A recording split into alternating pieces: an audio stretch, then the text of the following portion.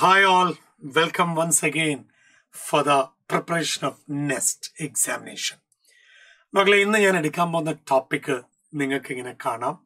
The secret of life activity നമ്മുടെ ജീവൽ പ്രവർത്തനം നമ്മുടെ ജീവൻ ജീവിതത്തിന്റെ ആക്ടിവിറ്റീസ് ലൈഫ് ആക്ടിവിറ്റീസിന്റെ പിന്നിലുള്ള സീക്രട്ട് എന്താണ്? എങ്ങനെയാണ് നമുക്ക് എനർജി കിട്ടുന്നത്? ഈ എനർജിയുടെ കാരണം അന്വേഷിച്ച് പോയി കഴിഞ്ഞാൽ നമുക്ക് കാണാം. The thing behind this this in the is one thing that is cellular respiration. Respiration ആണ് മക്കളെ നമുക്ക് എനർജി കിട്ടുന്നത്. അതും സെല്ലിന്റെ ഉള്ളിൽ വെച്ച് നടക്കുന്ന റിയാക്ഷൻ അപ്പൊ സെല്ലുലാർ റെസ്പിറേഷൻ നടക്കുമ്പം നമുക്ക് എ ടി പി ഉണ്ടാവും. എനർജി ആയിട്ട് അത് സ്റ്റോർ ചെയ്യാണ്. ഇപ്പൊ റെസ്പിറേഷൻ എന്ന് പറഞ്ഞാൽ ശ്വസനം. അപ്പൊ ആ ശ്വസനത്തിൽ ഓക്സിജൻ എടുക്കുന്നു. കാർബൺ ഡൈ ഓക്സൈഡ് റിലീസ് ചെയ്യുന്നു. അപ്പൊ ഇതിനെ കുറിച്ചുള്ള ഡീറ്റെയിൽസ് ആണ് നമ്മൾ ഇനി പറയാൻ പോകുന്നത്. അപ്പൊ എന്താ റെസ്പിറേഷൻ എന്ന് അറിയണ്ടേ? വേണം. അപ്പൊ റെസ്പിറേഷൻ എന്താ എന്ന് ചോദിച്ചാൽ ഞാൻ ആദ്യം പറയുന്നത് എന്താണെന്നറിയോ? The process of conversion of glucose അഥവാ ഷുഗർ ഗ്ലൂക്കോസ് അഥവാ carbohydrates converted into energy ഇതാണ് സംഗതി. അപ്പൊ ഇവിടെ സംഭവിക്കുന്നത് എന്താ ഷുഗർ ഓക്സിജനുമായിട്ട് കമ്പൈൻ ചെയ്യുന്നു. ഓക്സിജൻ ആരെ കണ്ടാലും വെട്ടിമുറിക്കും. അതിനെയല്ലേ ഓക്സിഡേഷൻ എന്ന് പറയാം. യെസ് എന്നിട്ട് എന്ത് ഫോം ചെയ്യും? കാർബൺ ഡൈ ഓക്സൈഡും വാട്ടറും എനർജിയും ഫോം ചെയ്യും. കണ്ട? അപ്പൊ ഈ ചിത്രം കണ്ടു കഴിഞ്ഞാൽ മനസ്സിലാവും. നല്ല അടിപൊളി ടേസ്റ്റ് ഉള്ള ഒരു വട. അത് കഴിക്കുന്നതോട് കൂടിയിട്ട് എനർജി കിട്ടും എന്നാണ് ഉദ്ദേശിക്കുന്നത്. ഓക്കെ ആണോ? ശരി. അപ്പൊ റെസ്പിറേഷൻ എന്താ എന്ന് കിട്ടി. അപ്പൊ ഈ റെസ്പിറേഷനിൽ എന്താ സംഭവിക്കുന്നത്? റെസ്പിറേഷനിൽ ഗ്ലൂക്കോസ് നമ്മൾ കഴിച്ച ഫുഡ് ഗ്ലൂക്കോസ് ആയിട്ട് സ്റ്റോർ ചെയ്തു. അത് എവിടെയാ കിടക്കുന്നത്? ഡൈജസ്റ്റീവ് സിസ്റ്റത്തിൽ നിന്നും വന്നു. അതായത് നമ്മൾ ഭക്ഷണം കഴിച്ചു. ആ കഴിച്ച ഫുഡ് മെറ്റീരിയൽസ് നമ്മുടെ ഡൈജഷൻ വഴി ദഹന പ്രക്രിയ വഴി ഗ്ലൂക്കോസ് ആയിട്ട് മാറി. ബ്രീത്തിങ് സിസ്റ്റത്തിൽ നിന്നും എന്ത് വന്നു? ഓക്സിജൻ വന്നു. നമ്മൾ ശ്വസിച്ചു. അപ്പൊ ഓക്സിജൻ കിട്ടി. എന്നിട്ട് അത് എന്തായിട്ട് മാറി? അത് കാർബൺ ഡൈ ഓക്സൈഡ് ആയിട്ട് മാറി. അതല്ലേ ഒരു പ്രൊഡക്റ്റ്. അതിന് പുറമേ എന്തുണ്ടായി? വാട്ടർ ഉണ്ടായി. അതും വേസ്റ്റ് പ്രൊഡക്റ്റ് പുറത്തേക്ക് പോന്നു. ആസ് എ റിസൾട്ട് എന്തുണ്ടായി? എനർജി ഉണ്ടായി. ആ എനർജി അല്ലേ ഒരു യൂസ്ഫുൾ പ്രൊഡക്റ്റ്? അതെ. അപ്പൊ റെസ്പിറേഷൻ എന്താണ്? എന്താണ് റെസ്പിറേഷൻ നടക്കുന്നത് എന്ന് കൃത്യമായിട്ട് കിട്ടി. അപ്പൊ ഇത് മസ്റ്റ് ആണല്ലോ. ബർഗർ മസ്റ്റ് ആണല്ല. ഫുഡ് സബ്സ്റ്റൻസ് മസ്റ്റ് ആണല്ലോ. ഇനി ഫുഡ് മാത്രം മതിയോ? ഈ ഒരു ഓർഗനും കൂടെ വേണ്ടേ? ശ്വാസകോശങ്ങൾ ഉണ്ടെങ്കിലല്ലേ ഈ പ്രോസസ്സ് നടക്കുള്ളൂ. ചെടികളിലാണെങ്കിലോ പ്ലാന്റ്സിലാണെങ്കിൽ എന്ത് വേണം? ചെടികൾക്ക് റെസ്പിറേറ്ററി അവയവങ്ങളില്ല. എന്തില്ല? ലങ്സ് ഇല്ല. പക്ഷെ സ്റ്റൊമാറ്റി ഉണ്ട്. ലെൻഡിസൽസ് ഉണ്ട്. അതുവഴി അവർ ഈ ഓക്സിജൻ എടുക്കും. അപ്പൊ ഫുഡ് സബ്സ്റ്റൻസും വേണം. അതേപോലെ തന്നെ നമുക്ക് റെസ്പിറേറ്ററി ഓർഗൻസ് ഉണ്ടെങ്കിലല്ലേ ഇതെല്ലാം നടക്കുകയുള്ളൂ. ശരിയല്ലേ? അപ്പൊ നമ്മൾ ആ കാര്യങ്ങൾ ഓക്കെ ആയി. അങ്ങനെയാണെങ്കിൽ ഇനി അറിയേണ്ടത് റെസ്പിറേഷന് സമയത്ത് ഓക്സിഡൈസ് ചെയ്യുന്ന വസ്തുക്കളെ കുറിച്ച് അറിയണം. അതിനെ വിളിക്കുന്ന പേരാണ് റെസ്പിറേറ്ററി സബ്സ്ട്രേറ്റുകൾ ഏത് വസ്തുവാണോ ഓക്സിഡൈസ് ചെയ്തു പോകുന്നത്. ആ ഓക്സിഡൈസ് ചെയ്തു പോകുന്ന വസ്തുക്കളെ റെസ്പിറേറ്ററി സബ്സ്ട്രേറ്റ് എന്ന് വിളിക്കും. അപ്പൊ അതിന്റെ ഡെഫിനിഷൻ നോക്ക്. കോമ്പൗണ്ടുകൾ ഓക്സിഡൈസ്ഡ് ഡ്യൂറിങ് റെസ്പിറേഷൻ അതിനെയാണ് റെസ്പിറേറ്ററി സബ്സ്ട്രേറ്റ് അപ്പൊ റെസ്പിറേഷൻ ശ്വസനത്തിന്റെ സമയത്ത് ഓക്സിഡൈസ് ചെയ്തു പോകുന്ന ബ്രേക്ക് ചെയ്തു പോകുന്ന വസ്തുക്കളെ റെസ്പിറേറ്ററി സബ്സ്ട്രേറ്റ് എന്ന് വിളിക്കും. സാധാരണ നമ്മൾ കഴിക്കുന്ന ഫുഡ് മലയാളികളായ നമ്മൾ കഴിക്കുക ചോറാണ്. അപ്പൊ ചോറോ ദോശയോ അരിഭക്ഷണമോ കഴിച്ചാൽ കോമൺ റെസ്പിറേറ്ററി സബ്സ്ട്രേറ്റിൽ ആര് വരും എന്ന് ചോദിച്ചാൽ നോക്ക് ഏറ്റവും കോമൺ ആയിട്ടുള്ളത് ഗ്ലൂക്കോസ് ആണ്. ഏറ്റവും കോമൺ ഗ്ലൂക്കോസ് ആണ്. ഓക്കെ അതേസമയം ചെറുപയറൊക്കെ ആണെങ്കിലോ പ്രോട്ടീൻസ് ആണ്. ബിരിയാണിയാണ് കഴിക്കുന്നതെങ്കിലോ ഫാറ്റ്സ് ആണ്. അതേസമയം മുന്തിരി ഓറഞ്ച് ഒക്കെ ആണെങ്കിലോ അത് ഓർഗാനിക് ആസിഡ്സ് ആണ്. അപ്പൊ ഇതാണ് ബ്രേക്ക് ചെയ്തിട്ട് നമുക്ക് എനർജി കിട്ടുക. അപ്പൊ കോമൺ റെസ്പിറേറ്ററി സബ്സ്ട്രേറ്റുകൾ ഏതൊക്കെയാണെന്ന് എന്റെ കുട്ടികൾക്ക് മനസ്സിലായോ? യെസ് ഓക്കെ അപ്പൊ നിങ്ങൾ സ്മാർട്ട് ആയതുകൊണ്ട് ഇതൊക്കെ പെട്ടെന്ന് മനസ്സിലാക്കി എടുക്കാൻ പറ്റും. അങ്ങനെയാണെങ്കിൽ ഏതൊക്കെ ടൈപ്പ് റെസ്പിറേഷൻ ഉണ്ടെന്ന് അറിയോ? രണ്ട് ടൈപ്പ് റെസ്പിറേഷൻ ഉണ്ട്. എയറോബിക് റെസ്പിറേഷനും എനറോബിക് റെസ്പിറേഷനും ഓക്സിജൻ എടുക്കുകയാണെങ്കിൽ എയറോബിക് ഓക്സിജൻ എടുക്കുന്നില്ലെങ്കിൽ അനറോബിക് റെസ്പിറേഷൻ അങ്ങനെയാണെങ്കിൽ രണ്ടുപേരുടെയും വ്യത്യാസം എന്താണെന്ന് അറിയണ്ടേ? എയറോബിക് റെസ്പിറേഷനും അനറോബിക് റെസ്പിറേഷനും തമ്മിലുള്ള ഡിഫറൻസ് നോക്ക്. ഓക്സിജൻ ആവശ്യമാണ് എയറോബിക്കിൽ അതേസമയം എനറോബിക്കിൽ ഓക്സിജൻ വേണോ? വേണ്ട. അതേസമയം എയറോബിക് റെസ്പിറേഷനിൽ നമ്മൾ കഴിക്കുന്ന ഫുഡ് പൂർണമായിട്ടും ഓക്സിഡൈസ് ചെയ്തു പോകും. അതേസമയം എനറോബിക് റെസ്പിറേഷനിലോ ഇൻകംപ്ലീറ്റ് ആണ്. നമ്മൾ കഴിക്കുന്ന ഭക്ഷണം പൂർണമായിട്ടും ഓക്സിഡൈസ് ചെയ്യുന്നില്ല. ഈ പ്രൊഡക്ട്സ് ഏതൊക്കെയാണെന്ന് അറിയണ്ടേ? വേണം. Carbon dye oxide water energy ഒക്കെയാണ് എയറോബിക് റെസ്പിറേഷന്റെ എൻ പ്രൊഡക്ട്സ് പ്രൊഡക്റ്റ് അതേസമയം എനറോബിക് റെസ്പിറേഷന്റെ പ്രൊഡക്റ്റോ ആൽക്കഹോൾ ലാക്റ്റിക് ആസിഡ് അതേപോലെ തന്നെ കാർബൺ ഡൈ ഓക്സൈഡ് ഇത്തിരി എനർജി അനറോബിക് റെസ്പിറേഷൻ ഉണ്ടാവുള്ളൂ. ഈ ആനറോബിക് റെസ്പിറേഷന് നമ്മൾ വേറൊരു പേരും കൂടെ പറയും. എനറോബിക് റെസ്പിറേഷന് വിളിക്കുന്ന മറ്റൊരു പേരാണ് ഫെർമെന്റേഷൻ എനറോബിക് റെസ്പിറേഷന് വിളിക്കുന്ന മറ്റൊരു പേരാണ് ഫെർമെന്റേഷൻ ഓക്കെ അപ്പൊ ഇത് എന്താ എന്നുള്ളത് കൃത്യമായിട്ടൊരു ഐഡിയ കിട്ടി. അപ്പൊ ഈ ഒരു എയറോബിക് റെസ്പിറേഷനും എനറോബിക് റെസ്പിറേഷന്റെയും ഇക്വേഷനും കൂടെ ഞാൻ ഇന്ന് എഴുതി വെക്കാം. എയറോബിക് റെസ്പിറേഷനിലെ പ്രത്യേകത കാർബോഹൈഡ്രേറ്റ്സ് ആറ് കാർബൺ അല്ലേ? ഇപ്പൊ C six H twelve O six ഇത് ബ്രേക്ക് ചെയ്തു. ഇത് ബ്രേക്ക് ചെയ്തു. അപ്പൊ ഇത് ബ്രേക്ക് ചെയ്യുമ്പം എന്താ സംഭവിക്കുന്നത്? ഇത് ബ്രേക്ക് ചെയ്യുമ്പം നമുക്ക് എന്ത് കിട്ടും? നമുക്ക് കാർബൺ ഡൈ ഓക്സൈഡ് കിട്ടും. കണ്ട? അതേപോലെ തന്നെ വാട്ടർ മോളിക്യൂൾ കിട്ടും. അതേപോലെ തന്നെ എനർജി കിട്ടും. അപ്പൊ ഇതാണ് എയറോബിക് റെസ്പിറേഷനിൽ സംഭവിക്കുന്നത്. അതേസമയം എനറോബിക് റെസ്പിറേഷനിലോ എനറോബിക് റെസ്പിറേഷനിൽ ഗ്ലൂക്കോസ് ബ്രേക്ക് ചെയ്തു. ഗ്ലൂക്കോസ് ബ്രേക്ക് ചെയ്ത് കഴിഞ്ഞാൽ എന്താ കിട്ടുക? ഗ്ലൂക്കോസ് ബ്രേക്ക് ചെയ്ത് കഴിഞ്ഞാൽ നോക്കൂ C two H five O H ഇത് ആൽക്കഹോളാണ്. ഇതിന് പുറമേ കാർബൺ ഡൈ ഓക്സൈഡും ഫോം ചെയ്യും. ഇതിന് പുറമേ കാർബൺ ഡൈ ഓക്സൈഡും ഫോം ചെയ്യും. ഇത്തിരി എനർജിയും കൂടെ കിട്ടും. പക്ഷെ എയറോബിക് റെസ്പിറേഷനിൽ ഉണ്ടായ അത്രയും എനർജി ആനറോബിക് റെസ്പിറേഷനിൽ ഉണ്ടാവില്ല. ആക്യുറേറ്റ് ആയിട്ട് പറയുകയാണെങ്കിൽ എയറോബിക് റെസ്പിറേഷനിൽ മുപ്പത്തിയെട്ട് thirty eight A T P form ചെയ്യുമ്പോൾ എനറോബിക് റെസ്പിറേഷനിൽ രണ്ട് എ ടി പി ഉള്ളൂ. ഇതാണ് എനർജി ഡിഫറൻസ് അപ്പൊ ഈ എനർജി ഡിഫറൻസും കിട്ടിയല്ലോ. അപ്പൊ എയറോബിക് റെസ്പിറേഷനും എനറോബിക് റെസ്പിറേഷനും എന്താ എന്ന് മനസ്സിലാക്കി. ഇനി നമ്മൾ നോക്കേണ്ടത് എങ്ങനെയാണ് എയറോബിക് റെസ്പിറേഷൻ നടക്കുന്നത്?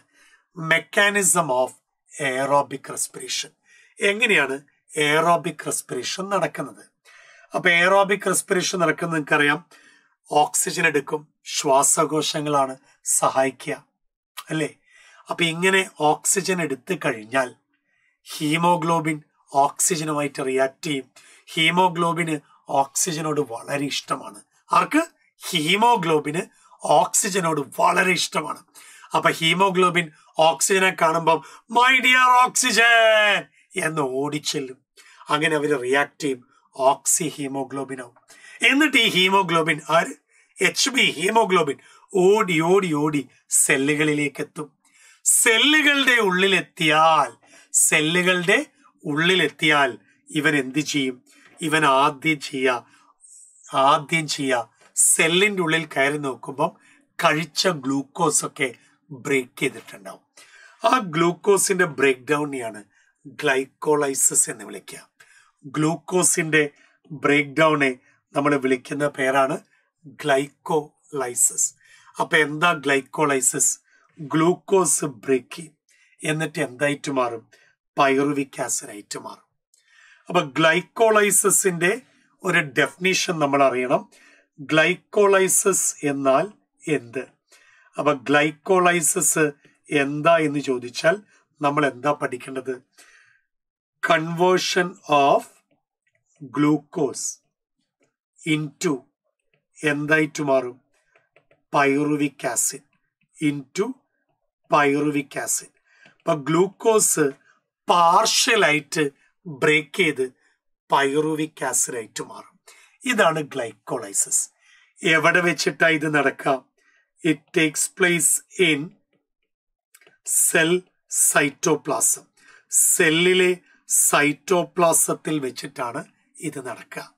അപ്പൊ ഗ്ലൈക്കോളൈസിസ് എന്താന്ന് കിട്ടിയോ? അപ്പൊ ഗ്ലൈക്കോളൈസിസ് നടക്കുമ്പം ഗ്ലൂക്കോസ് എന്തായിട്ട് മാറുന്നു? ഗ്ലൂക്കോസ് പൈറുവിക് ആസിഡായിട്ട് മാറുന്നു. ഈ പൈറുവിക് ആസിഡ് ഉണ്ടാവുന്ന സമയത്ത് എൻ എ ഡി എച്ച് ഉണ്ടാവും. അതൊരു അതൊരു എൻസൈമാണ്. എനർജി ഉണ്ടാക്കുന്ന എൻസൈം. അത് വേണമെങ്കിൽ ലാക്റ്റിക് ആസിഡ് ആവാം. അത് എനറോബിക് റെസ്പിറേഷനിലാണ്. അപ്പൊ എനറോബിക് റെസ്പിറേഷനിൽ ആൻഡ് എയറോബിക് റെസ്പിറേഷനിൽ എന്ത് നടക്കും? ലാക്റ്റിക് ആസിഡ് ആവും. അതേസമയം എയറോബിക് റെസ്പിറേഷനിൽ ലാക്റ്റിക് ആസിഡ് ലാക്റ്റിക് ആസിഡ് ഉണ്ടാവില്ല. അതിനു പകരം പൈറുവിക് ആസിഡ് നേരെ അസറ്റൈൽ കോയിൻസൈം ആവും. ഒരിക്കൽ കൂടി പറയാം. ഗ്ലൈക്കോളൈസിസിൽ എന്താ സംഭവിക്കുക ഗ്ലൂക്കോസ് നേരെ പൈറുവിക് ആസിഡ് ആവും. അപ്പൊ ഈ പൈറുവിക് ആസിഡ് എനറോബിക് റെസ്പിറേഷനിൽ ലാക്റ്റിക് ആസിഡോ ആൽക്കഹോളോ ആയിട്ട് മാറും. എയറോബിക് റെസ്പിറേഷനിൽ അത് എസറ്റൈൽ കോഎൻസൈം എ അഥവാ എസറ്റൈൽ കോയെ ആയിട്ട് മാറും. പിന്നീട് ഒരു സൈക്കിൾ നടക്കും. ആ സൈക്കിളിന്റെ പേരാണ് സിട്രിക് ആസിഡ് സൈക്കിൾ അതിലേക്ക് നമ്മൾ വരുന്നതിന് മുമ്പ് ഗ്ലൈക്കോളൈസസ് ഒന്നുകൂടെ നോക്കുക. Conversion of glucose into pyruvic acid എവിടെ വെച്ച് നടക്കും? സെല്ലിലെ സൈറ്റോപ്ലാസത്തിൽ വെച്ച് നടക്കും. അങ്ങനെയാണെങ്കിൽ ഈ ഗ്ലൈക്കോളൈസിസിൽ ഈ ഗ്ലൈക്കോളൈസിസിൽ സെൽ സൈറ്റോപ്ലാസത്തിൽ വെച്ച് നടക്കും എന്ന് ആദ്യമായിട്ട് പറഞ്ഞതാരാ ആദ്യമായിട്ട് പറഞ്ഞത് ആദ്യമായിട്ട് പറഞ്ഞത് ആരാ എന്നറിയോ? ആദ്യമായിട്ട് പറഞ്ഞത് Gustav Embden Otto Meyerhof Otto Meyerhof. Joachim Parnas. ഈ മൂന്നാൾക്കാരാണ് ഇത് ആദ്യമായിട്ട് പറഞ്ഞത്. അതുകൊണ്ട് തന്നെ ഇതിനെ വിളിക്കുന്ന ഒരു പേരുണ്ട് ഇ എം പി പാത്വേ. ഗ്ലൈക്കോളൈസിന് വിളിക്കുന്ന മറ്റൊരു പേരാണ് ഇ എം പി പാത്വേ. അത് എന്തുകൊണ്ടാണെന്നറിയോ വിളിക്കുന്നത്? എംഡൻ കണ്ടുപിടിച്ചുകൊണ്ട് മേയർ ഓഫ് കണ്ടുപിടിച്ചുകൊണ്ട് പർണാസ് കണ്ടുപിടിച്ചുകൊണ്ട് ഇവർ മൂന്ന് പേരും കൂടെ കൈകോർത്തു. എന്നിട്ട് ഇവർ പറഞ്ഞു ലെറ്റ്സ് ഹാവ് അവർ നെയിം എന്ന് E M P pathway Embden Meyerhof and Parnas pathway E M P pathway എന്ന ഗ്ലൈക്കോളൈസിന് ഒരു പേരുണ്ട്. അപ്പൊ വീണ്ടും നമുക്ക് അറിയേണ്ട മറ്റൊരു കാര്യം. ഈ ഗ്ലൈക്കോളൈസിൽ ടോട്ടൽ എത്രയാണ് എനർജി ഉണ്ടാവുക? അപ്പൊ ഗ്ലൈക്കോളൈസിൽ total energy in the form of A T P total energy in the form of A T P അപ്പൊ എത്ര എ ടി പി ഉണ്ടാകുമെന്ന് ചോദിച്ചാൽ ടോട്ടൽ എട്ട് എ ടി പി ഫോം ചെയ്യാം. ഓക്കെ ആണോ? അപ്പൊ വീണ്ടും നമ്മൾ ഗ്ലൈക്കോളൈസിസിലേക്ക് പോകുന്നതിന് മുമ്പ് എയറോബിക് റെസ്പിറേഷന്റെ കാര്യങ്ങളായിരുന്നു പറഞ്ഞുകൊണ്ടിരുന്നത്. അപ്പൊ ശ്വാസകോശങ്ങളിലേക്ക് വരുന്ന ഓക്സിജൻ ഹീമോഗ്ലോബിനായിട്ട് റിയാക്ട് ചെയ്ത് ഹോക്സി ഹീമോഗ്ലോബിനായി ഓരോ സെല്ലിലേക്ക് എത്തുമ്പോഴേക്കും അവിടെ എന്ത് നടന്നിട്ടുണ്ടാവും? ഗ്ലൈക്കോളൈസിസ്. ഗ്ലൈക്കോളൈസിസ് എന്താ എന്ന് ചോദിച്ചാൽ conversion of glucose into pyruvic acid എവിടെ വെച്ച് നടന്നു? സെല്ലിലെ സൈറ്റോപ്ലാസം ആരാണ് ഇത് ആദ്യമായി ഡിസ്കവർ ചെയ്തത്? Embden Meyerhof and Parnas അങ്ങനെയാണെങ്കിൽ ഇതിനെ വിളിക്കുന്ന മറ്റൊരു പേര് ഇ എം പി പാത്വേ അപ്പൊ ഗ്ലൈക്കോളൈസസിൽ സംഭവിക്കുന്ന എന്താന്ന് ചോദിച്ചാൽ ഗ്ലൂക്കോസ് പൈറിക് ആസിഡ് ആയിട്ട് മാറും. ദെൻ എറോ എനറോബിക് റെസ്പിറേഷനിലാണെങ്കിൽ അത് ലാക്റ്റിക് ആസിഡോ അല്ലെങ്കിൽ ആൽക്കോളോ ആയിട്ട് മാറും. എൻ എ ഡി എച്ച് എന്ന് പറയുന്ന ഒരു എൻസൈമും ഉണ്ടാവും. N A D H utilise ചെയ്യാണ് എനറോബിക്കിൽ അതേസമയം എയറോബിക് റെസ്പിറേഷനിൽ എസറ്റൈൽ കോഎൻസൈം എ ഉണ്ടാവും. എസറ്റൈൽ കോഎൻസൈം എ ഉണ്ടാവുമ്പോൾ എൻ എ ഡി എച്ച് ഉണ്ടാവുകയാണ്. Anaerobic റെസ്പിറേഷനിൽ N A D H utilise ചെയ്യുമ്പോൾ എയറോബിക് റെസ്പിറേഷനിൽ എൻ എ ഡി എച്ച് ഉണ്ടാവും. അത് എനർജി ഫാം ചെയ്യും. അപ്പൊ ഗ്ലൈക്കോളൈസിസ് ഓക്കെ ആ ഗ്ലൈക്കോളൈസിസിൽ പൈറുവിക് ആസിഡ് പിന്നെ എന്തായിട്ട് മാറുന്ന പറഞ്ഞത്? എസറ്റൈൽ കോ എൻസൈം എ അഥവാ എസറ്റൈൽ കോ എ ഈ എസറ്റൈൽ കോ എൻസൈം എ പിന്നീട് ഒരു സൈക്ലിക് റിയാക്ഷൻ നടക്കും. ആ സൈക്ലിക് റിയാക്ഷന്റെ പേരാണ് സിട്രിക് ആസിഡ് സൈക്കിൾ. ഈ സിട്രിക് ആസിഡ് സൈക്കിളിനെ വേറൊരു പേരിലും കൂടെ വിളിക്കാം ക്രബ് സൈക്കിൾ. ആ ക്രബ് സൈക്കിളിൽ എന്താ സംഭവിക്കുക? ക്രബ് സൈക്കിളിൽ പൈറുവിക് ആസിഡ് അഥവാ പൈറുവേറ്റ് എന്തായിട്ട് മാറും? എസറ്റൈൽ കോ എൻസൈം എ ആയിട്ട് മാറും എന്ന് ഇപ്പം നമ്മൾ പറഞ്ഞില്ലേ. ആ എസറ്റൈൽ കോ എൻസൈം എയിൽ നിന്നും പിന്നീട് ആദ്യം സിട്രിക് ആസിഡ് ഉണ്ടാവും പിന്നീട് ആൽഫ കീറ്റോ ഗ്ലൂട്ടാറിക് ആസിഡ് ഉണ്ടാവും അത് കഴിഞ്ഞ ശേഷം സക്സിനിക് ആസിഡ് ഉണ്ടാവും. ആ സക്സിനിക് ആസിഡ് മാലിക് ആസിഡ് ആയിട്ട് മാറും. ആ malic acid oxaloacetic acid ആയിട്ട് മാറും. ശരിക്കും ഇവിടെ എന്താ സംഭവിക്കുന്നതെന്ന് അറിയോ എസറ്റൈൽ കോഎൻസിയം എയില്ലേ പൈറുവിക് ആസിഡ് ഉണ്ടായത് ഈ പൈറുവിക് ആസിഡ് എങ്ങനെ ഉണ്ടായി? ഗ്ലൈക്കോളൈസിസ് വഴി. ഗ്ലൈക്കോളൈസിസ് വഴിയാണ് പൈറുവിക് ആസിഡ് ഉണ്ടായത്. അപ്പൊ ആഫ്റ്റർ ഗ്ലൈക്കോളൈസിസ് എന്ത് ഫോം ചെയ്തു? പൈറുവിക് ആസിഡ് ഫോം ചെയ്തു. After glycolysis pyruvic acid form ചെയ്തു. അഥവാ പൈറുവേറ്റ്. ആ പൈറുവേറ്റ് എസറ്റൈൽ കോയൻസേം എ ആയിലെ ഈ എസറ്റൈൽ കോഎൻസീം എ ആരുമായിട്ട് റിയാക്ട് ചെയ്തു? Oxaloacetic acid. അവനുമായി വിവാഹം കഴിച്ചു. അവർക്ക് നാല് കുട്ടികളുണ്ടായി. അതിൽ ആദ്യത്തെ കുട്ടിയാണ് സിട്രിക് ആസിഡ് സിട്രുമോൻ. ഈ സിട്രുമോന്റെ പ്രത്യേകത സിട്രുമോന് സിക്സ് കാർബൺ ആണ്. ആറ് വേക്കലുണ്ടെന്ന് ആലോചിച്ചോ. രണ്ടാമത്തെ മോനാണ് ആൽഫ കിറ്റോ ഗ്ലുട്ടാറിക് ആസിഡ്. ഇതിന് അഞ്ച് വിരൽ അഞ്ച് കാർബൺ എന്ന് ആലോചിക്കുക. പിന്നെ ഉണ്ടായ രണ്ട് പെൺകുട്ടികളാണ് സക്സുമോളും മാലുമോളും. സക്സിനിക് ആസിഡും മാലിക് ആസിഡും. ഇവർക്കൊക്കെ നാല് വിരൽ വീതയുള്ളൂ ഫോർ കാർബൺ. ഓക്കെ? അപ്പൊ ചുരുക്കി പറഞ്ഞാൽ നാല് കാർബൺ ഉള്ള നാല് വിരലുള്ള ഓക്സാലോ അസറ്റിക് ആസിഡ് രണ്ട് കാർബൺ ഉള്ള എസറ്റൽ കോയൻസേം എയുമായിട്ട് റിയാക്ട് ചെയ്തപ്പോഴാണ് ഇങ്ങനെ സംഭവിച്ചത്. അതേസമയം ഗ്ലൈക്കോളൈസിസിലോ ഗ്ലൈക്കോളൈസിസിൽ ആറ് കാർബൺ ഉള്ള ഗ്ലൂക്കോസ് ആണ് രണ്ട് കാർബൺ ഉള്ള പൈറുവിക്ക സോറി മൂന്ന് കാർബൺ ഉള്ള ആസിഡ് മാറും അപ്പൊ ആ കോമ്പൗണ്ടുകളുടെ നമ്പർ കണ്ടോ? പൈറുവിക് ആസിഡ് മൂന്ന് കാർബൺ എസറ്റൈൽ കോയൻസിയമെ രണ്ട് കാർബൺ. സിട്രിക് ആസിഡ് അപ്പൊ അസറ്റിക് കോസ് എസറ്റൈൽ കോയൻസിയമി ആരുമായിട്ട് റിയാക്ട് ചെയ്തത്? വിവാഹം കഴിച്ചത് ഓക്സാലോ അസറ്റിക് ആസിഡുമായിട്ട് ആദ്യത്തെ കുട്ടി ആറ് വരൽ. Citric acid. രണ്ടാമത്തെ കുട്ടി ആൽഫ കീറ്റോ ഗ്ലൂട്ടാറിക് ആസിഡ്. അഞ്ച് വരൽ. പിന്നെ രണ്ട് പെൺകുട്ടികളല്ലേ? സെക്സ് മോളും നാലു മോളും. രണ്ടുപേരും ഫോർ കാർബൺ. സക്സിനിക് ആസിഡും മാലിക് ആസിഡും. അപ്പൊ ക്രബ് സൈക്കിൾ എന്താന്ന് കിട്ടിയല്ലോ? ഈ ക്രബ് സൈക്കിളിൽ ഇതല്ലാതെ വേറെ ഉണ്ടാവുന്ന പ്രൊഡക്റ്റ് ഏതൊക്കെയാ? പിന്നെ ഉണ്ടാവുന്ന പ്രൊഡക്റ്റ് ഒന്ന് എൻ എ ഡി എച്ച് ഇത് പിന്നീട് എനർജി ആവും. വേറൊന്ന് F A D H two flavin adenine dinucleotide N A D H എന്താ? Nicotinamide adenine dinucleotide hydrogen F A D H എന്താ? ഫ്ലേവിൻ അഡനിൻ ഡൈന്യൂക്ലിയോട്ടൈഡ് ഹൈഡ്രജൻ പിന്നെ ഉണ്ടാവുന്നത് ആരാ? കാർബൺ ഡൈ ഓക്സൈഡ് ഉണ്ടാവും. പിന്നെ ഉണ്ടാവുന്നത് ആരാ? എ ടി പി ഫോം ചെയ്യും ഇത്രയും പ്രൊഡക്ട്സ് ആണ് ഇതിന് പുറമെ ക്രബ് സൈക്കിളിൽ ഉണ്ടാകുന്നത്. ഈ ക്രബ് സൈക്കിളിനെ നമ്മൾ വേറൊരു പേരിലും കൂടെ വിളിക്കും. ശരിക്കും ക്രബ് സൈക്കിളിന് ആദ്യമായി കണ്ടെത്തിയത് ഹാൻസ് ക്രബ്സ് ആണ്. ഹാൻസ് ക്രബ്സ് ജർമ്മൻ ബയോകെമിസ്റ്റ് ആണ്. ഹാൻസ് ക്രബ്സ് ഈ ക്രബ് സൈക്കിളിൽ ഉണ്ടായ ആദ്യത്തെ കോമ്പൗണ്ട് ആരാ മക്കളെ? സിട്രിക് ആസിഡ് ആണ്. ആ സിട്രിക് ആസിഡ് ഫോം ചെയ്യുന്നതുകൊണ്ട് ഇതിനെ സിട്രിക് ആസിഡ് സൈക്കിൾ എന്നും വിളിക്കാം. സിട്രിക് ആസിഡ് സൈക്കിൾ അത് എന്തുകൊണ്ടാണ് സിട്രിക് ആസിഡ് സൈക്കിൾ എന്ന് വിളിച്ചത്? First compound first compound citric acid ആയതുകൊണ്ട്. ഫസ്റ്റ് ഫോം ചെയ്ത കോമ്പൗണ്ട് സിട്രിക് ആസിഡ് ആയതുകൊണ്ടാണ് നമ്മൾ അതിനെ സിട്രിക് ആസിഡ് സൈക്കിൾ വേറൊരു പേരിലും കൂടെ വിളിക്കാം. Tricarboxylic tricarboxylic acid cycle ഇങ്ങനെയും വിളിക്കാം. അഥവാ ടി സി എസ് സൈക്കിൾ ഇങ്ങനെയും വിളിക്കാം. ട്രൈ കാർബോക്സിലിക് ആസിഡ് സൈക്കിൾ ഇങ്ങനെയും വിളിക്കാം. അതെന്താ? അങ്ങനെ വിളിക്കാനുള്ള കാരണം. സിട്രിക് ആസിഡിന് സിട്രിക് ആസിഡിന് മൂന്ന് കാർബോക്സിലിക് ആസിഡ് ഉണ്ട്.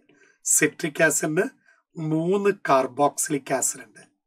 അതുകൊണ്ടാണ് അതിനെ ട്രൈ കാർബോക്സിലിക് ആസിഡ് സൈക്കിൾ എന്ന് വിളിക്കുന്നത്. അപ്പൊ എത്ര പേരുകളാണ് എന്നൊന്ന് ആലോചിച്ച് നോക്ക്. ക്രബ് സൈക്കിൾ എന്ന് വിളിക്കാം. സിട്രിക് ആസിഡ് സൈക്കിൾ എന്ന് വിളിക്കാം. ട്രൈ കാർബോക്സിലിക് ആസിഡ് സൈക്കിൾ എന്ന് വിളിക്കാം. ഈ മൂന്ന് പേരിലും അറിയപ്പെടുന്നുണ്ട്. ഓക്കെ ആണോ?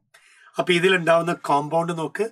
എന്നെ ഈ പറയുന്ന കോമ്പൗണ്ടുകൾക്ക് പുറമെ എൻ എ ഡി എച്ച് ഉണ്ടാവും എഫ് എ ഡി എച്ച് ഉണ്ടാവും കാർബൺ ഡൈ ഓക്സൈഡ് ഉണ്ടാവും എ ടി പി ഉണ്ടാവും. ഇനിയും എ ടി പി ഉണ്ടാവും എൻ എ ഡി എച്ചും എഫ് എ ഡി എച്ചും ബ്രേക്ക് ചെയ്താൽ. അതെങ്ങനെയാ ബ്രേക്ക് ചെയ്യാൻ ചോദിച്ചാൽ ഇലക്ട്രോൺ ട്രാൻസ്പോർട്ട് പാത്വേ വഴി. ഇപ്പൊ ഇലക്ട്രോൺ ട്രാൻസ്പോർട്ട് പാത്വേയിൽ ഈ എൻ എ ഡി എച്ചും ബ്രേക്ക് ചെയ്യും എഫ് എ ഡി എച്ചും ബ്രേക്ക് ചെയ്യും. ഇലക്ട്രോൺസ് റിലീസ് ചെയ്യും. ഇലക്ട്രോൺസ് റിലീസ് ചെയ്യും. കണ്ടോ? ഇലക്ട്രോൺസ് റിലീസ് ചെയ്യും. ഇലക്ട്രോൺസ് റിലീസ് ചെയ്യും. ഈ ഇലക്ട്രോൺസ് എപ്പോഴും മൂവ് ചെയ്യുമ്പം ഇലക്ട്രോൺസ് ട്രാൻസ്പോർട്ട് ചെയ്യുമ്പം ഇലക്ട്രോൺസ് ട്രാൻസ്പോർട്ട് ചെയ്യുമ്പം എ ടി പി ഉണ്ടാവും. ഇലക്ട്രോൺസ് ട്രാൻസ്പോർട്ട് ചെയ്യുമ്പം എ ടി പി ഇതാണ് എനർജി കറൻസി നമ്മുടെ ശരീരത്തിലെ എനർജി കറൻസി നമ്മുടെ ശരീരത്തിലെ എനർജി കറൻസി ആരാ എന്ന് ചോദിച്ചാൽ ഇലക്ട്രോൺ ട്രാൻസ്പോർട്ട് പാത്വേ വഴി ഉണ്ടാവുന്ന എ ടി പി ആണ്. അപ്പൊ ക്രബ് സൈക്കിളിൽ ഉണ്ടാവുന്ന എൻ എ ഡി എച്ചും എഫ് എ ഡി എച്ചും ഫർദർ ഓക്സിഡേഷൻ നടക്കും. ആരാ ഓക്സിഡൈസ് ചെയ്യുക ആരാ ഓക്സിഡൈസ് ചെയ്യുക ഓക്സിജൻ വന്ന് ബ്രേക്ക് ചെയ്യും. ഓക്സിജൻ വന്ന് ബ്രേക്ക് ചെയ്യും. അങ്ങനെ ഇലക്ട്രോൺ റിലീസ് ചെയ്യും. ആ ഇലക്ട്രോൺസ് ഇങ്ങനെ ട്രാൻസ്പോർട്ട് ചെയ്യുമ്പോൾ എനർജി ഫ്ലോ ചെയ്യും. അത് എ ടി പി ആയിട്ട് സ്റ്റോർ ചെയ്യും. ഓക്കെ അത് എ ടി പി ആയിട്ട് സ്റ്റോർ ചെയ്യും. എ ടി പിയെ വിളിക്കുന്ന ഫുൾ ഫോം എന്താ? അഡിനോസൈൻ. Triphosphate adenosine triphosphate. അപ്പോൾ ഒരിക്കൽ കൂടി എയറോബിക് റെസ്പിറേഷന്റെ മെക്കാനിസം ഒന്ന് നോക്കൂ. ഏറ്റവും ആദ്യം ഗ്ലൈക്കോളൈസിസ് നടക്കും ഗ്ലൈക്കോളൈസിസിൽ പൈറുവിക് ആസിഡ് ഉണ്ടാവും. ആദ്യമായിട്ട് കണ്ടെത്തിയത് പറഞ്ഞു എയ്റ്റ് എ ടി പി ഉണ്ടായി. അതിനുശേഷം ക്രബ് സൈക്കിൾ നടക്കും. പൈറുവിക് ആസിഡ് എസറ്റൈൽ കോയിൻസേമയും എസറ്റൈൽ കോയിൻസേം ഉണ്ടാവുന്ന കോമ്പൗണ്ടുകളും കണ്ടു. അതിന് പുറമെ ആരൊക്കെ ഉണ്ടായി? N A D H F A D H carbon dioxide A T P ഈ എൻ എ ഡി എച്ചും എഫ് എ ഡി എച്ചും കാർബൺ ഡൈ ഓക്സൈഡും എ ടി പി ഉണ്ടാവുന്ന ക്രബ് സൈക്കിൾ അഥവാ സിട്രിക് ആസിഡ് സൈക്കിളിന്റെ മറ്റ് പേരുകൾ കണ്ടു. അതിനുശേഷം എൻ എ ഡി എച്ചും എഫ് എ ഡി എച്ചിനെയും ഓക്സിജൻ വന്ന് ഓക്സിഡൈസ് ചെയ്യും. സെല്ലിലെത്തി ഓക്സിജൻ വന്ന് ഓക്സിഡൈസ് ചെയ്തു. ഇലക്ട്രോൺ ട്രാൻസ്പോർട്ട് ചെയ്ത് നടന്നു. എ ടി പി ആയി മാറി. ആ എ ടി പിന്റെ ഫുൾ ഫോം അഡിനോസൈൻ ട്രൈഫോസ്ഫേറ്റ് നമ്മൾ ആദ്യം പറഞ്ഞു രണ്ട് ടൈപ്പ് റെസ്പിറേഷൻ അതിൽ എയറോബിക് റെസ്പിറേഷൻ ആണ് ഇപ്പം നമ്മൾ പറഞ്ഞത്. ഇനി എനറോബിക് റെസ്പിറേഷനും കൂടി ഒന്ന് കേൾക്കാം. എനറോബിക് റെസ്പിറേഷന് മറ്റൊരു പേരും കൂടി ഉണ്ട് ഫാർമെന്റേഷൻ എന്താണ്? ഫാർമെന്റേഷൻ അപ്പൊ എന്താ ഫാർമെന്റേഷനിൽ സംഭവിക്കുന്നത് ഫാർമെന്റേഷനിൽ സംഭവിക്കുന്നത് ഗ്ലൂക്കോസ് അണ്ടർഗോ ഇൻകംപ്ലീറ്റ് ഓക്സിഡേഷൻ അപൂർണമായ ഒരു ഓക്സിഡേഷൻ നടക്കും.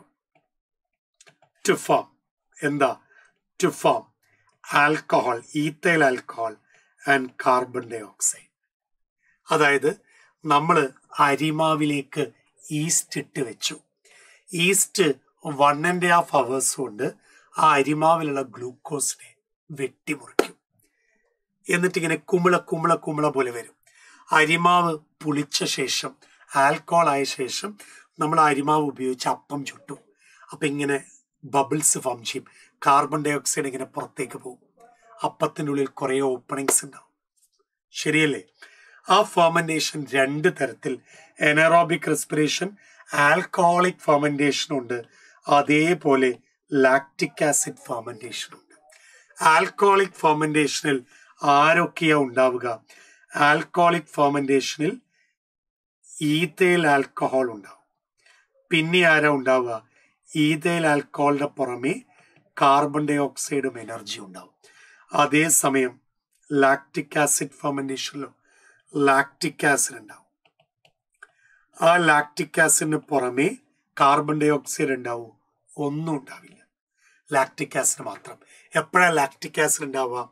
ഒരു ജോലിയും ചെയ്യാത്ത നമ്മൾ ആദ്യമായി എന്തെങ്കിലും എക്സസൈസ് ചെയ്താലോ അതും അല്ലെങ്കിൽ ആദ്യമായിട്ട് ജിംനേഷ്യത്തിൽ പോയി വെയിറ്റ് ഒക്കെ എടുത്ത് പിറ്റേ ദിവസം നോക്കുമ്പോൾ ജോയിൻസിലൊക്കെ പെയിൻ അയ്യോ ഇവിടെ പെയിൻ അയ്യോ ഇവിടെ പെയിൻ അയ്യോ ഇവിടെ പെയിൻ ഷോൾഡറിൽ പെയിൻ കാലിൽ പെയിൻ ഈ പെയിൻ വരാൻ കാരണം എന്താ? ലാക്റ്റിക് ആസിഡ് ഉണ്ടാവുന്നതുകൊണ്ട് ശരീരം മുഴുവൻ പെയിൻ ലാക്റ്റിക് ആസിഡ് ഉണ്ടാവുന്നതുകൊണ്ട് അത് തനിയെ പോകും. ലാക്റ്റിക് ആസിഡ് പിന്നീട് ഡിവൈഡ് ചെയ്ത് ബ്രേക്ക് ചെയ്ത് എവിടേക്ക് പോകും? ലിവറിലേക്ക് പോകും. അപ്പം നമ്മൾ ഇന്നെടുത്ത കാര്യങ്ങളെല്ലാം ഒരിക്കൽ കൂടി നോക്കുക. സെല്ലുലാർ റെസ്പിറേഷൻ എന്താന്ന് പഠിച്ചു? റെസ്പിറേഷൻ ഡെഫിനിഷൻ പഠിച്ചു. എനർജി ഫുഡ് സബ്സ്റ്റൻസസിൽ നിന്നും കിട്ടും എന്നുള്ളത് റെസ്പിറേറ്ററി സബ്സ്ട്രേറ്റ് എന്താന്ന് പഠിച്ചു. ഏത് വസ്തുവാണോ ഓക്സിഡൈസ് ചെയ്യുന്നത് അതിനെ റെസ്പിറേറ്ററി സബ്സ്ട്രേറ്റ് ഏതൊക്കെയാണ് സാധാരണ റെസ്പിറേറ്ററി സബ്സ്ട്രേറ്റ് എന്ന് കണ്ടു. ടൈപ്സ് ഓഫ് റെസ്പിറേഷൻ എയറോബിക് റെസ്പിറേഷനും ആനറോബിക് റെസ്പിറേഷനും കണ്ടു. അതിന്റെ ഇക്വേഷൻ കണ്ടു. അതിനുശേഷം നമ്മൾ മെക്കാനിസം ഓഫ് എയറോബിക് റെസ്പിറേഷനിലേക്ക് പോയി ശ്വാസകോശങ്ങൾ ഉപയോഗിച്ചോ ചെടികളിൽ സ്റ്റൊമാറ്റോ ഉപയോഗിച്ചോ എത്തുന്ന ഓക്സിജൻ വരുമ്പോഴേക്കും ആദ്യം ഗ്ലൈക്കോളൈസിസ് നടക്കും. ഗ്ലൈക്കോളൈസിസ് എവിടെ വെച്ച് നടക്കുന്നു? ഗ്ലൈക്കോളൈസിസിന്റെ മറ്റൊരു പേര് അതിന്റെ എനർജി കിട്ടി. ദെൻ ക്രബ് സൈക്കിൾ നടക്കും. എന്ന രഹസ്യം മനസ്സിലാക്കി അതിന് മറ്റു പേരുകൾ കണ്ടു. അതിനുശേഷം ഇലക്ട്രോൺ ട്രാൻസ്പോർട്ട് വഴി എ ടി പി ഫോം ചെയ്യുന്നത് പറഞ്ഞു. എനറോബിക് റെസ്പിറേഷൻ പഠിച്ചു. അതിന് മറ്റൊരു പേരാണ് ഫാർമെന്റേഷൻ എന്ന് കണ്ടു. ഫാർമെന്റേഷൻ രണ്ട് ടൈപ്പ് ഉണ്ട്. ആൽക്കോളിക് ഫാർമെന്റേഷനും ലാക്ടിക് ആസിഡ് ഫോമന്റേഷൻ ഉണ്ട് കണ്ടു. ഇനി നമ്മൾ ക്വസ്റ്റ്യൻ ഡിസ്കഷനിലേക്ക് കയറാണ് ഓക്കെ ഇപ്പൊ പറഞ്ഞതെല്ലാം കിട്ടുമോ നോക്കാം. ആദ്യത്തെ ചോദ്യം ദ പ്രോസസ് ഓഫ് ലൈഫ് ആക്ടിവിറ്റീനെ നമ്മൾ വിളിക്കുന്ന പേരെന്ത്? നമ്മൾ വിളിക്കുന്ന പേരാണ് മെറ്റബോളിസം. കറക്റ്റ് അല്ലേ? യെസ് അടുത്ത ചോദ്യം നോക്ക്. Physiology is the branch of science കണ്ടോ? ഫിസിയോളജി ആനിമൽ ഫിസിയോളജി പറയാം പ്ലാൻ ഫിസിയോളജി പറയാം. ഇതെല്ലാം അടങ്ങുന്നതാണ് നമ്മുടെ ശരീരപ്രവർത്തനങ്ങൾ. അപ്പൊ എന്തിനെ കുറിച്ചാണ് ഡീൽ ചെയ്യുന്നത്? ലൈഫ് ആക്ടിവിറ്റീസിനെ കുറിച്ച്. കറക്റ്റ് അല്ലേ? യെസ് അടുത്ത ക്വസ്റ്റ്യൻ നോക്ക്. സെല്ലുലാർ റെസ്പിറേഷൻ എന്ന് പറയുന്നത് എന്താണ്? അപ്പൊ energy released by the process of oxidation അല്ലേ? അതെ ഓക്സിഡേഷൻ വഴി എനർജി റിലീസ് ചെയ്യുന്നതല്ലേ? യെസ് വീണ്ടും അടുത്ത നോക്ക്. ഈ പറയുന്ന റെസ്പിറേഷനിൽ എന്താ സംഭവിക്കുക?